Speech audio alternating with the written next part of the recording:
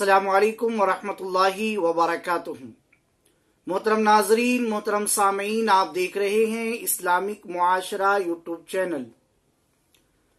ख्वाबों की ताबीर का सिलसिला मुसलसल हमारे चैनल पर, आपके अपने पसंदीदा चैनल पर जारी है और आप मजीद ख्वाबों की ताबीर पूछ भी रहे हैं। एक ख्वाब की ताबीर किसी भाई ने पूछी ख्वाब में खून के अंदर पेशाब करते देखने की ताबीर क्या है? वाकई में ये ताबीर बड़ी ही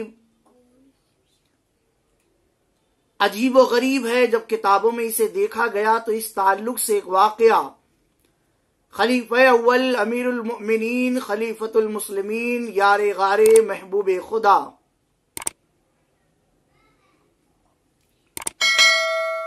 हज़रत सैदना अबू बकर सिद्दीक रज़ी अल्लाह तन की बारगाह में एक शख्स आया और आने के बाद अर्ज़ करता है, अमीरुल मैंने ख्वाब में ये देखा है कि मैं खून के अंदर पेशाब कर रहा हूँ, इसकी ताबीर क्या हो सकती है?